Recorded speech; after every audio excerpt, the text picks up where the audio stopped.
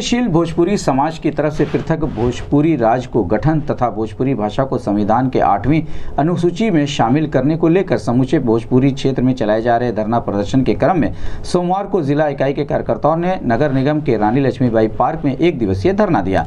केंद्रीय भोजपुरी प्रगतिशील समिति के उपाध्यक्ष प्रोफेसर आर पी सिंह ने कहा कि भोजपुरी को पृथक राज्य बनाया जाए, जिससे भोजपुरी की पहचान अस्मिता, भोजपुरी विकास और भोजपुरी गौरव की बातें स्पष्ट रूप से दुनिया के सामने लाई जा सके।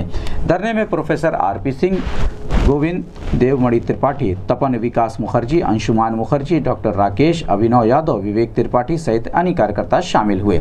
इस संबंध में गोरखपुर न्यूज़ संवाददाता से बात करते हुए डॉक्टर रवि प्रताप सिंह ने कहा। के उद्योग बनावा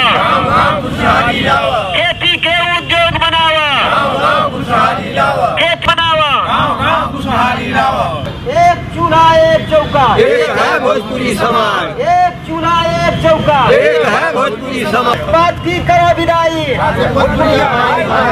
जात पात की करो। भाई भाई। खेती के उद्योग बनावा गाँव गाँव खुशहाली मैं प्रोफेसर आर पी सिंह उपाध्यक्ष केंद्रीय भोजपुरी समिति प्रगतिशील भोजपुरी समाज। लोग मुख्य रूप से तीन चार मांगों को जो भोजपुरी से जुड़ी हुई हैं तो उसको लेकर के यहाँ पर इकट्ठे हुए हैं। सबसे बड़ी मांग हम लोगों की है कि भोजपुरी राज्य, पृथक राज्य बनाया जाए, जिससे कि भोजपुरी पहचान, भोजपुरी अस्मिता, भोजपुरी विकास, भोजपुरी गौरव की बातें स्पष्ट रूप से दुनिया के सामने लाई जा सकें। सबसे बड़ा संकट आज भोजपुरिया पहचान की है कि हम दुनिया के 14-15 देशों में भोजपुरिया दखल रखते हैं। और हम लोग तीस करोड़ लोग भोजपुरी बोलने वाले पूरी दुनिया में।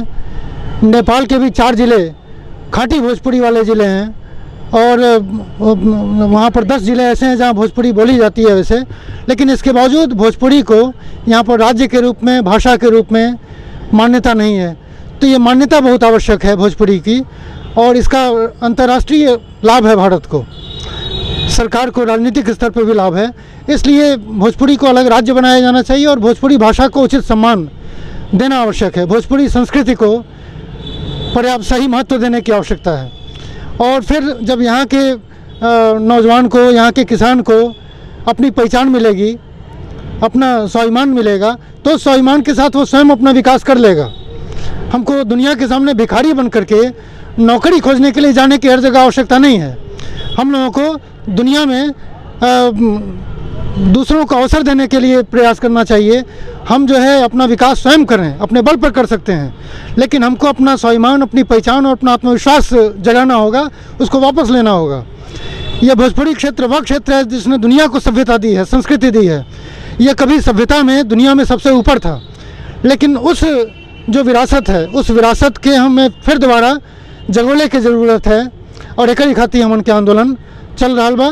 और हम लोग भोजपुरी राज्य और भोजपुरी भाषा, भोजपुरी संस्कृति की पहचान बना के रहेंगे, अलग राज्य हम स्थापित करवा के रहेंगे। इसके लिए हम हर तरह से प्रयास कर रहे हैं और हम इसके लिए माननीय भारत राष्ट्रपति और प्रधानमंत्री महोदय को हम पत्र दे रहे हैं और हम बार बार ये प्रयास करते हैं बार बार हम धरना करते रहें हमारा निवेदन है कि इसको आम जन और मीडिया पर्सन्स अधिक से अधिक समर्थन प्रदान करें, जिससे कि इस क्षेत्र को एक पहचान और विकास का सही रास्ता मिल सके। धन्यवाद।